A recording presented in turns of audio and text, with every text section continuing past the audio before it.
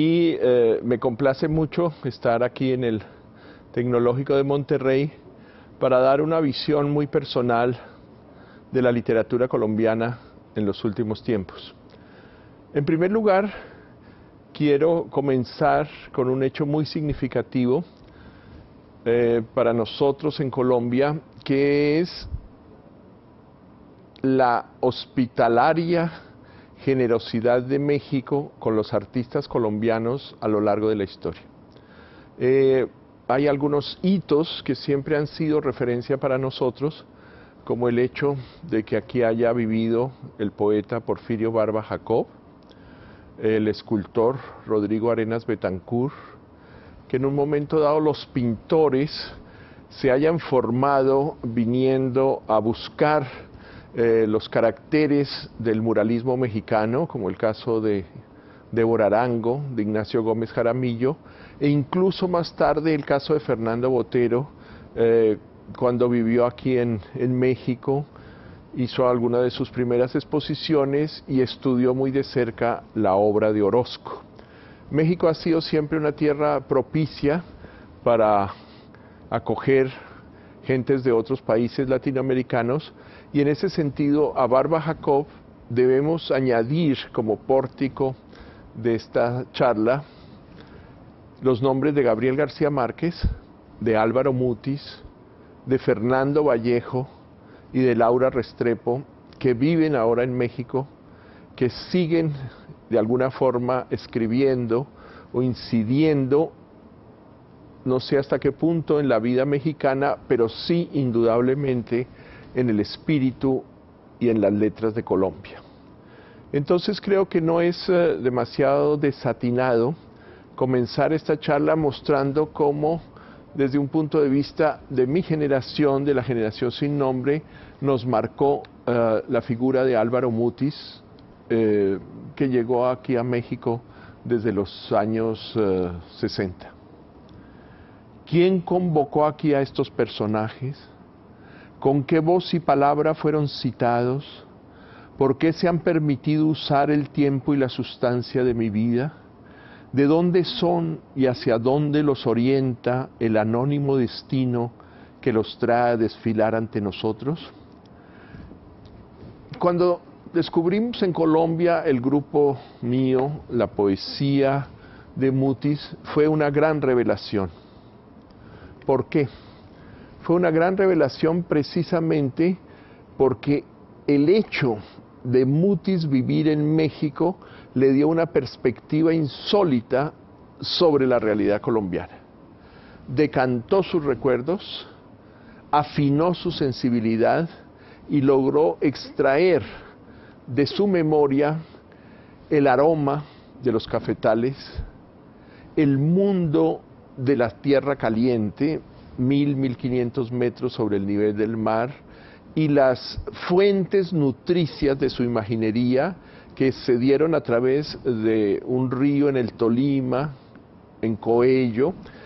y este hombre Mutis, que llegó aquí a México en condiciones eh, muy especiales, huyendo de una demanda de la multinacional ESO, que fue acogido, como lo ha contado con mucha gracia Elena Poniatowska, como el niño bonito de la temporada de la mano de Carlos Fuentes, sería luego el hombre que pasaría eh, un año largo en la cárcel de Lecumberri. ¿Qué le dio esa cárcel de Lecumberri aquí en la Ciudad de México a Mutis? La posibilidad de reflexionar sobre lo que había sido su vida, de empezar a escribir esa poesía donde la nostalgia no es blanda, sino se vuelve muy nítida, recordando eh, las imágenes, los olores primordiales de su infancia, y le dio además la posibilidad, como él mismo lo dice, de leer completo a Marcel Proust. Entonces, la figura de Mutis, eh, que publicaría quién era eh, su libro de los trabajos eh, perdidos, que publicaría más tarde con el Fondo de Cultura, su poesía, fue para nosotros muy esencial porque es realmente el vínculo con la modernidad, es decir, una poesía escéptica sobre sí misma, una poesía muy consciente de su incapacidad de resumir el mundo en un verso, pero a la vez una poesía que nos lleva en esa tensión de un intento desesperado y en el fondo fallido a pensar la poesía como el último eco del diálogo del hombre con la naturaleza, del diálogo del hombre con su soledad. Hay algunos puntos claves en la poesía de Mutis que han sido muy reveladores. Uno de ellos es el saber, de alguna forma, que no es posible el encuentro pleno con otro ser humano, que siempre hay como una barrera, como un silencio eh, definitivo en torno a nuestros más profundos eh, ecos y motivaciones, que siempre nuestras relaciones van a estar teñidas como de un óxido y un desgaste que es el mismo que se transmite a la historia, a los grandes imperios, a las grandes figuras como el caso de Simón Bolívar en su cuento El último rostro, y a un diálogo que me ha llevado a mí a escribir un libro que se llama Lecturas Convergentes, donde pongo a dialogar los textos de Álvaro Mutis con los de Gabriel García Márquez. ¿Por qué?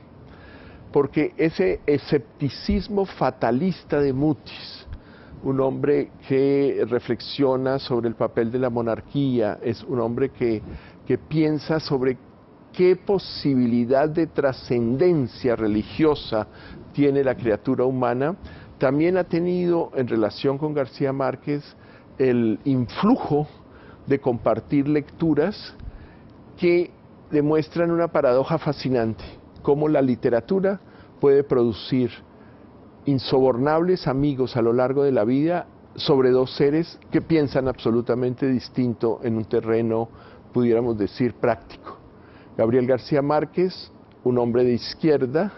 socialista, partidario de la Revolución cubana, Álvaro Mutis, un hombre de derecha, reaccionario, como él mismo se define, consciente de que todas estas empresas eh, revolucionarias terminan muy mal y ambos dialogan sobre qué? Sobre un criollo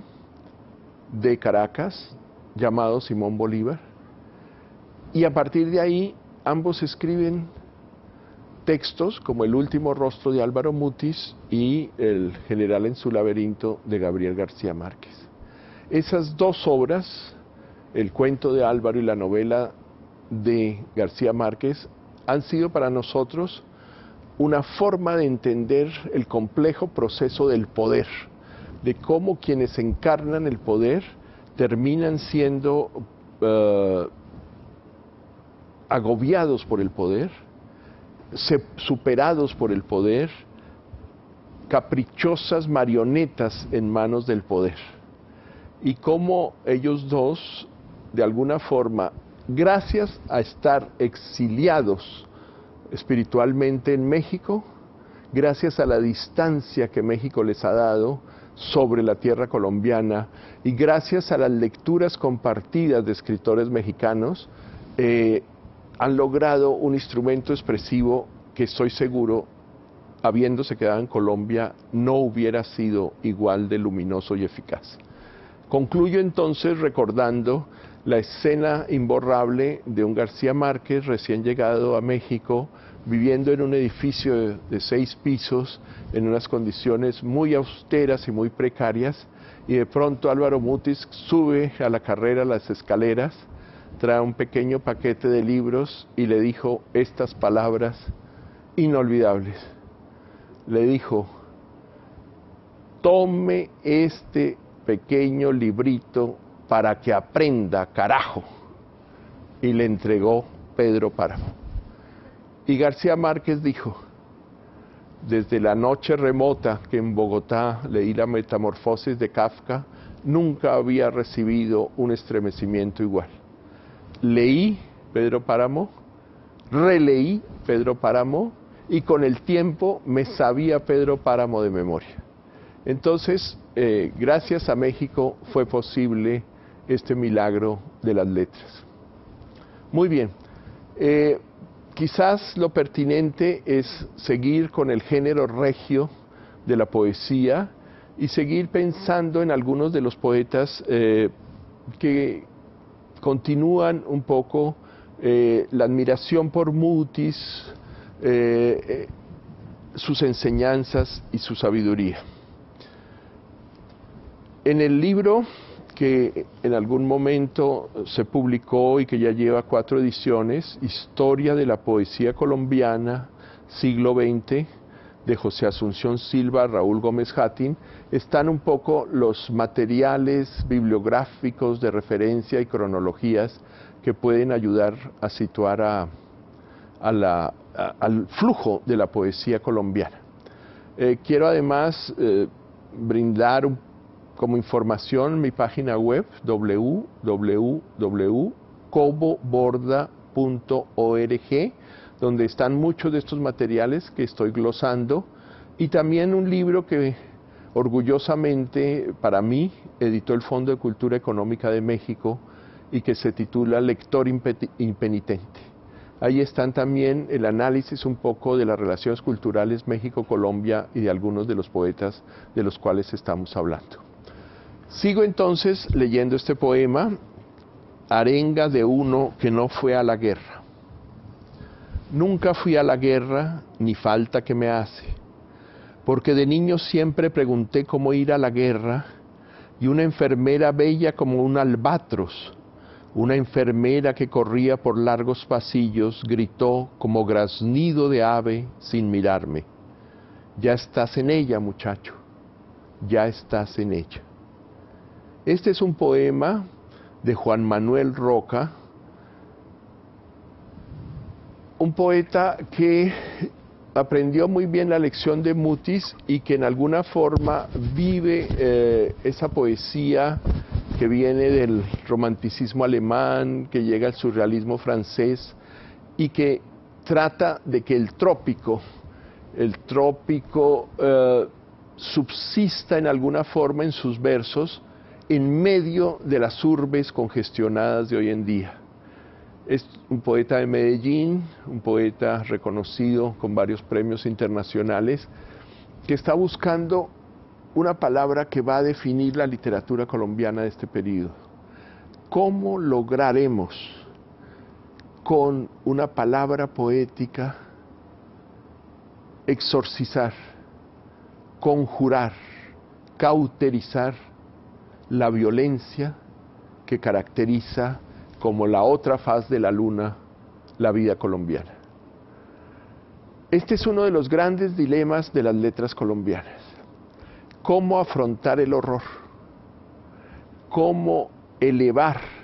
a través de la tersura, limpidez y transparencia del lenguaje todo ese mundo amorfo, sórdido, degradado de tantos episodios de violencia, de guerrilla, de secuestro, de narcotráfico, de paramilitares, y cómo buscar espacios de convivencia para que la poesía sirva como imán aglutinante para que la palabra restituya el diálogo entre los colombianos. En la misma generación de Juan Manuel Roca hay una mujer, se llama se llamaba, se sigue llamando María Mercedes Carranza. Es una poeta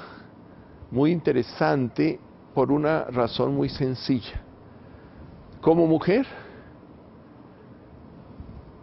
era hija de un gran poeta colombiano, Eduardo Carranza. Entonces tenía la tensión eh, parricida, pudiéramos decir, de cómo una mujer puede escribir poesía teniendo como padre a un gran poeta. Tuvo además una vida eh, adolescente en España con las figuras amigas de su padre,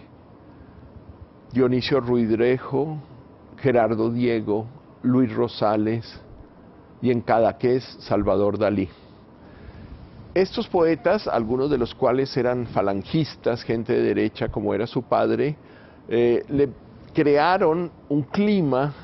que no era el que se vivía en Colombia, el clima de las tertulias, el clima del vino, el clima del coloquio, eh, hasta la madrugada de la casa abierta para recibir a los amigos, el clima de compartir un poco esos excesos, pero al mismo tiempo tener siempre la base de la poesía. Quizás por eso, cuando ella regresó a Colombia, hizo sus estudios en la Universidad de los Andes y comenzamos a hacer una página literaria que se llamaba Vanguardia en el periódico El Siglo, ella quizás tenía ya la obsesión de la ah, empresa que ennoblecería y daría sentido a su vida en sus últimos 20 años. La fundación de la Casa de Poesía José Asunción Silva en el tradicional y recoleto barrio de la Candelaria en Bogotá. Por fin una casa ah, a partir del apoyo de la alcaldía y de los concejales y de la industria y el sector privado dedicada exclusivamente a la poesía. Una casa cuyas paredes, como las de aquí del Tecnológico Monterrey y la Cátedra Alfonso Reyes, están ornadas por los retratos de los poetas y por sus recuerdos. Recuerdos algunos eh, muy conmovedores, una vieja máquina de escribir, un manuscrito, una un lugar para oír sus voces conservadas a través del tiempo. Y esa casa de poesía Silva sirvió en alguna forma para que la poesía adquiriera un estatus y la poesía en alguna forma también tuviera un punto de unión y convergencia. En esa casa de poesía Silva y en los 20, 30 números de su revista, revista de la Casa de Poesía, ha figurado entonces en las letras colombianas de los últimos años en un diálogo permanente. Ahí yo recuerdo que había un poeta que había sido mi compañero en la Universidad Externado de Colombia, donde montó una obra teatral a partir de los funerales de la Mama Grande de Gabriel García Márquez. Me estoy refiriendo a un poeta de la costa colombiana a un poeta nacido en, a las orillas del río Magdalena, a la región de Cincelejo, a la región eh, de esa ganadería que se desplaza en grandes latifundios cerca del río, toros cebús con grandes cuernos que están inmóviles y somnolientos en un paisaje tropical agobiado por el sol. Y quizás ese sol fue el que de alguna forma quemó y eh, dilató la mente de este poeta. Es un poeta llamado Raúl Gómez Hattin, de la cual se puede conseguir en el Fondo de Cultura Económica en México y en Colombia y en toda América Latina una antología de sus poemas con prólogo de Carlos Monsiváis. Me gusta dar estas referencias porque es necesario ir a los textos, es necesario tener los libros de los poetas en la mano. Quiero leer un poema de Raúl Gómez Hattin antes de hablar de él, de lo que soy en este cuerpo en el cual la vida ya anochece, vivo yo. Vientre blando y cabeza calva, pocos dientes y yo adentro como un condenado. Estoy adentro y estoy enamorado y estoy viejo. Descifro mi dolor con la poesía y el resultado es especialmente doloroso voces que anuncian, ahí vienen tus angustias, voces quebradas, ya pasaron ya tus días. La poesía es la única compañera. Acostúmbrate a, a sus cuchillos, que es la única. Esta es la voz de Gómez Hattin, un poeta sobre el cual diré dos o tres palabras. Perdón. ¿Qué es lo singular de Gómez Jati? En primer lugar, el haber nacido en esa región próxima al Magdalena, próxima al Mar Caribe. Sus últimos años los pasó en Cartagena de Indias. Y un hombre que tenía varios rasgos muy inquietantes y perturbadores de alguna forma. Primero, una fijación con la figura de su madre, eh, que correspondía a esos emigrantes árabes o sirio-libaneses que llegaron a las costas colombianas. El influjo uh, árabe sirio-libanés eh, se resume en Colombia en una palabra que los engloba a todos, los turcos. Los turcos llegaron a Colombia y empezaron a vender desde ropa, sábanas, tapetes y para decirlo en un término milenario, lámparas mágicas. Ellos, al igual que los judíos, abrieron el crédito, el crédito popular, con el cual la gente se surtía en los pueblos de la costa, en sitios donde no había bancos, en donde no había ni la más remota posibilidad de conseguir las cosas a través de un apoyo, de solicitar un crédito en un banco. Muy bien, entonces, una fijación edípica con su madre y una paulatina conciencia, en el caso de Gómez Hattin, de su homosexualidad. Deja la costa, deja un poco el útero materno y se viene a Bogotá, estudia en la Universidad Externado de Colombia y empieza a escribir sus poemas, de los cuales es el que acabo de leer, uno de los, de los más definitorios de él. ¿Qué pasa con un hombre que siente que dentro de sí hay otro hombre y que está envejeciendo y que en alguna forma su único compañero real son los cuchillos de la poesía? Publicará en el 88 un libro titulado Retratos, en el cual hay algo exultante, hay algo dionisiaco, hay algo si se quiere, animal y bestialista en su fervorosa adoración de las presencias terrenas. Él puede confesar su amor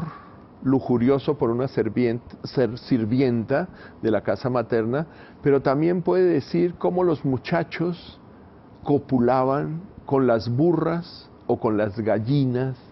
dentro de un clima como enrarecido de deseo, de lujuria, de humedad, de sudor, de calor, en una vibración de la piel que su poesía trata de transmitir sin obliterar por ello sus referencias al mundo clásico. Es muy curioso esto porque hay una tradición de poetas de la costa colombiana,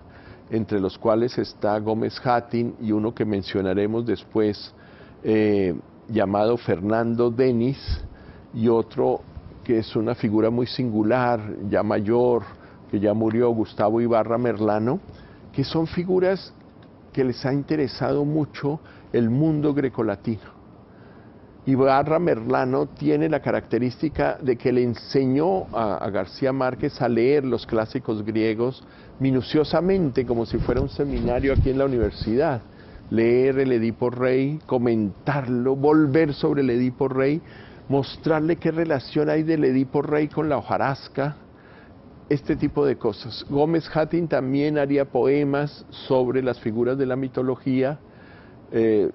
intentaría estudiar derecho en el externado de Colombia, como ya dije antes, y luego empezó una vida que para todos los que los conocimos fue sumamente crapulosa, degradada, eh, que llegaba incluso a la mendicidad en las calles, que lo llevaba de un momento a otro, de ir a un hospital psiquiátrico en Cuba, regresar a Colombia, ya pudiéramos decir, purgado de sus eh, adicciones a los alucinógenos, a la marihuana, a las drogas, y seguir intentando escribir esta poesía como la que hemos leído, y finalmente en Cartagena, una mañana,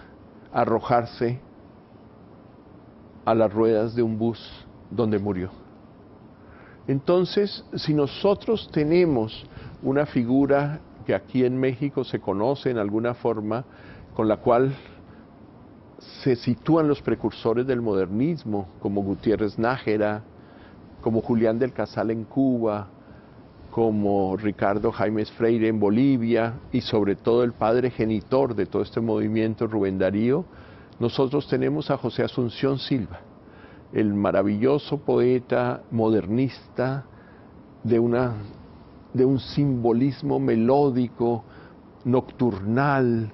de almas en pena que quizás, como lo ha dicho siempre Mutis, no logran comunicarse en medio de la noche y de la el reflejo de la luna sobre sus espectrales siluetas, Gómez Hattin se suicida como Silva y cierra un ciclo trágico de la poesía colombiana, de esa lucha del poeta contra el contexto que lo ignora, que lo margina, que lo desprecia, pero que revierte sobre él y que como en el poema que leímos, en este cuerpo en el cual la vida ya anochece, vivo yo. Entonces, metido en él mismo, alucinado con sus propios fantasmas, Gómez Hattin se arroja al bus en Cartagena y en esa ciudad, en ese mundo, el mundo de la playa, el mundo de los adolescentes, el mundo del deseo homosexual, él en alguna forma desaparece y cierra ese ciclo trágico en la poesía colombiana. Si antes he mencionado a María Mercedes Carranza, quisiera mencionar a otra poeta, mujer, que ha publicado ya dos novelas, además de sus libros de poemas, y que se llama Piedad Bonet. ¿Por qué quiero mencionar a Piedad Bonet, nacida en el 51? un poco para acercarlos a ustedes a la actualidad de la poesía colombiana, porque es una mujer en plena producción. Ella viene de un pueblo de Antioquia, de Amalfi, en, en, la zona antioqueña, de la cual también forma parte Juan Manuel Roca y el poeta que es conocido aquí en México, también como novelista, Darío Jaramillo Agudelo, sobre el cual eh, también me gustaría mencionar algo pero quizás me referiré a él cuando ya ingrese en el mundo de la narrativa. Entonces, Piedad Bonet ha publicado una poesía sobre el viejo también esquema de la poeta mujer. Mujeres autónomas, mujeres universitarias como María Mercedes Carranza,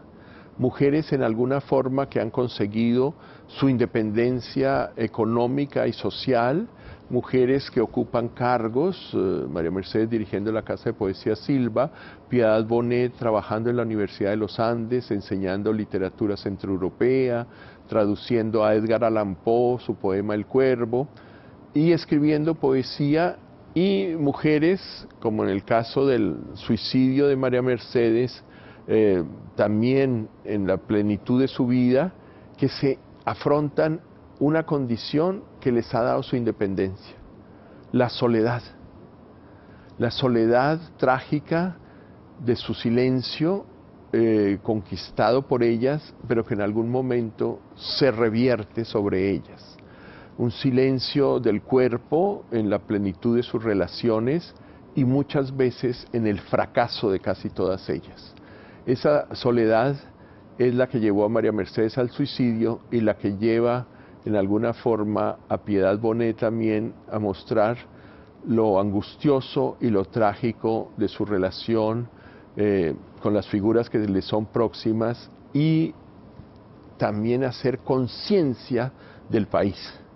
Eh, María Mercedes organizó varios eventos que tienen un título muy revelador, donde participaban poetas de muchas partes, entre ellos de México, que se llamaba Alzados en Almas la poesía como refutación de la violencia. Oigamos entonces este poema de Piedad Bonet, que con la frialdad de un informe comienza así. Cuestión de estadísticas. Fueron 22, dice la crónica. 17 varones, 3 mujeres, dos niños de mirada alelada, 73 disparos, cuatro credos, tres maldiciones hondas apagadas, 44 pies con sus zapatos, 44 manos desarmadas, un solo miedo,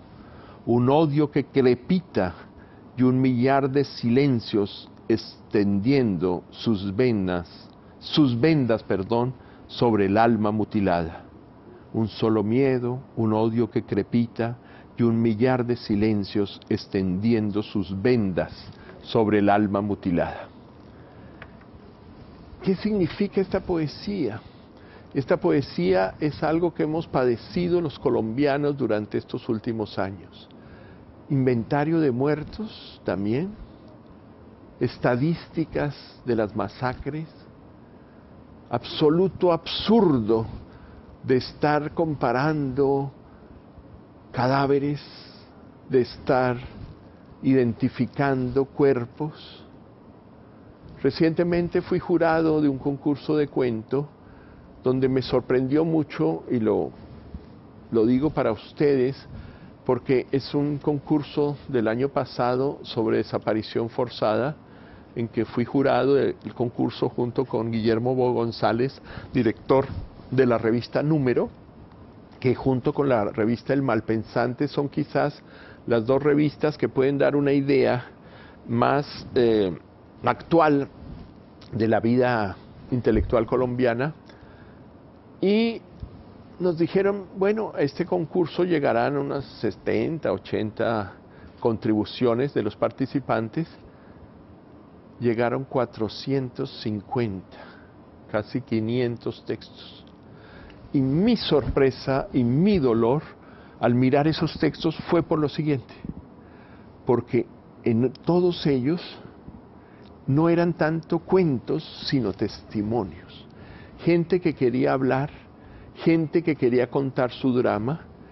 y resumo los dos ganadores, uno de ellos de un escritor tolimense, Jorge Eliezer Pardo, en su anécdota. La anécdota es la siguiente. A la orilla del río, el río como puede ser el Magdalena de Gómez Jatín, mujeres esperan que bajen los cadáveres. Se apoderan de un cadáver y hacen en torno a él todos los ritos funerarios después de conservarlo, de maquillarlo, de limpiarlo, de ponerlo en el ataúd y de celebrar las noches de velorio. Y luego finalmente, cuando va a ser enterrado, colocan sobre ese rostro anónimo y muchas veces desfigurado la foto de quien era su ser querido desaparecido. No hay cuerpos para enterrar, no hay cuerpos para exorcizar, no hay cuerpos para vencer la barbarie y la insania, cualquier cuerpo es hermosamente humano para que una madre, para que una viuda, para que una hermana consiga que su ser querido esté en tierra. Entonces, este es el mundo de estas estadísticas, este es el mundo, de alguna forma, de estos dolores que refleja la poesía de Piedad Bonet, que refleja la poesía de María Mercedes Carranza. Hemos hablado así de algunos de los poetas y creo que es tiempo eh, de cerrar un poco este recuento eh, para no ponerme en lo pormenorizado de un directorio, de un diccionario de poetas colombianos, sino más bien incitarlos a los generosos eh, al generoso auditorio a que exploren eh, a partir de ellos todo el mundo de relaciones. Concluyo entonces la parte de poesía con un poema de un poeta también de la costa, también de Ciénaga en el Magdalena, un poeta, Fernando Denis, que ha vivido la vida bohemia de la calle en Bogotá, del desamparo, de la falta de recursos y que se mete en las bibliotecas públicas, ustedes no se imaginan a qué, a leer a los prerrafaelitas ingleses, a vivir en los orbes imaginarios de Borges, a pasar las noches en vela, en un café, asistir a todas las inauguraciones de pintura porque ahí dan un alcohol y quizás un pasabocas, y luego producir una poesía donde habla de Remedios la Bella, pero también habla de los, de los crepúsculos de William Turner, el gran pintor inglés de marinas. Un hombre insólito, un hombre insólito que sabe que el mundo de la poesía es más real del mundo de los que ve en la calle. Él es Fernando Denis y escribe un poema breve que he seleccionado para ustedes llamado Beatriz. Hay tanto amor en cada cosa que veo, en cada cosa invisible. Enamorarse es ver lo que otros no ven. ¿Cómo es posible que todos pasan junto a ti como si no te vieran y yo me detengo a mirarte para siempre? ¿Qué cosa ocurre en los demás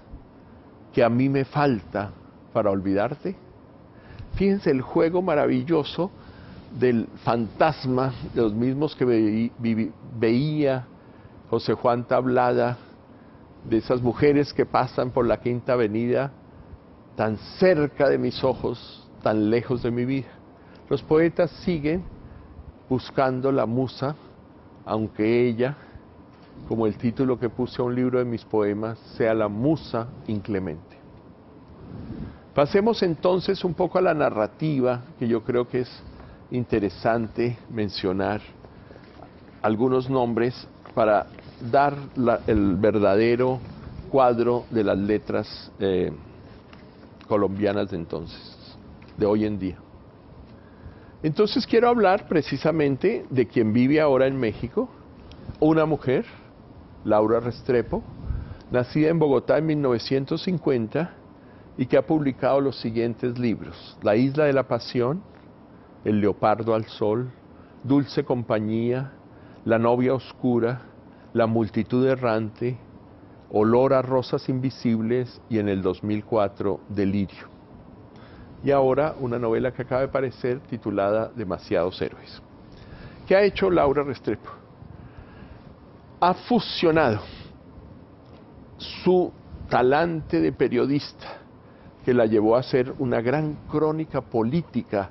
sobre la entrega de armas del movimiento M19 en el gobierno de Belisario Betancourt y luego la muerte de la mayoría de los hombres que dejaron las armas. Esto nos vuelve a traer a México por una razón muy sencilla que uno de los comandantes del M-19 que fuera asesinado, Carlos Pizarro, va a ser el motivo de una nueva novela de Carlos Fuentes. Entonces Laura Restrepo fue y escribió un libro, Historia de una traición, sobre la entrega de las armas del M-19, como antes pasó con las entregas de las armas de la juventud comunista eh, que participaba en la guerrilla, que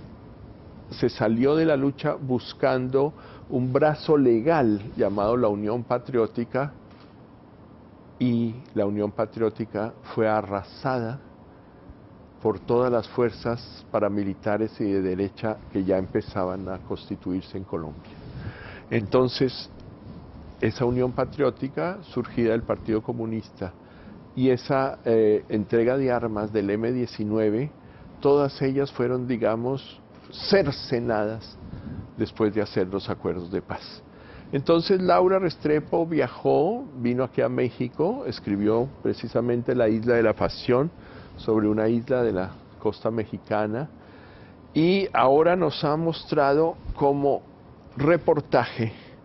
e invención pueden cruzarse y dar en alguna forma una imagen muy valedera. La novia oscura, por ejemplo, para caracterizar alguna ya específica, es sobre un barrio en la población de Barranca Bermeja, La Catunga, un barrio de prostitutas, y la relación entre el sindicato de la Tropical Oil, Company, la misma que dentro de las multinacionales que explotan los recursos naturales de nuestros países, como la United Fruit de Santa Marta con el banano, la Tropical Oil con el petróleo, y el tejido de esta mujer y de los hombres que la circundan y de las relaciones que se crean. Dudo que haya un género que pueda llamarse tragedia de tierra caliente. La excesiva luz del trópico desdibuja los contornos filosos de todo drama. Lo redondea, lo envuelve en sus ensoñaciones y al final lo disuelve en el olvido. Son palabras de Laura en La novia oscura y muestran muy bien también ese otro drama, la fragilidad de nuestra memoria, el olvido incesante de una realidad atropellada que va borrando todas las cosas. Putas, plata y petróleo fueron las tres características de esa novia oscuro. Y concluyo con la novela que al ganar el premio Anagrama en un jurado presidido y elogiosamente favorable a ella eh, por José Saramago, le dio el premio a Delirio y es una novela sobre la Bogotá donde las clases altas también medran en torno al narcotráfico, también blanquean el dinero, también invierten los recursos mal habidos en gimnasios, en spas, en hoteles, y mientras tanto sigue viviendo algo que es muy perturbador, que es lo que pudiéramos llamar la vida del prejuicio colombiano, la vida de las clases sociales, la vida de los apellidos, y esa vida en alguna forma eh, sigue imperando para las nuevas clases en ascenso, que al no dejarlas entrar a los clubes, construyen un club más grande que el que les vetó la entrada, que al no dejarlas participar en los eh, conjuntos multifamiliares de la clase alta, protegidos por sus cercas de metal, por sus servicios electrónicos y por lo que en México se denomina con una palabra muy exacta, guaruras, ellos construyeron fincas de muchas, muchas, muchísimas hectáreas, las electrificaron, pusieron ahí ganado importado o como Pablo Escobar trajo hipopótamos de África que todavía desbordan las riberas del río Magdalena y consiguieron los mejores caballos de paso en unos establos que nadie de los multimillonarios de Texas pudo, pudo tener. Entonces, este mundo absurdo de grandeza y de miseria, de sordidez, de mujeres con tetas de silicona y sometidas al capricho de los capos, todo esto es lo que se vislumbra a través de delirio con una metáfora perfecta. Una mujer que despide a su compañero y tres, cuatro días después, en ese viaje corto que él hace, él descubre que ha perdido mentalmente todos los puntos de referencia. Entonces es necesario reconstruir la memoria de esta mujer, como es necesario reconstruir la memoria de esas impetuosas luchas por una justicia social que lo han llevado a la última novela de Laura Restrepo, Demasiados Héroes, porque ella en un momento dado se vinculó al movimiento trotskista en la Argentina, al movimiento, eh, quizás pudiéramos decir en una palabra general, de los montoneros, tuvo un hijo con uno de los líderes de ellos, es parte de su vida real, y eh, viviendo en eso, el padre secuestra al hijo, huye de Colombia y muchos años después, madre e hijo vuelven a Buenos Aires a ver si encuentran a su padre y entonces es el gran panorama de toda esa élite guerrillera, que en muchos casos provendría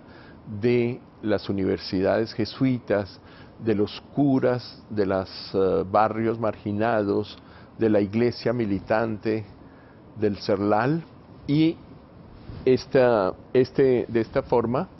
eh, ahí está eh, uno de los temas que yo quisiera también dejar señalados, el olvido. ¿Por qué la vida colombiana está siempre signada por el olvido? por qué la vida colombiana en alguna forma está eh, sometida a esa presión que hace necesaria la literatura. Quiero hablar entonces de un escritor que fue amigo mío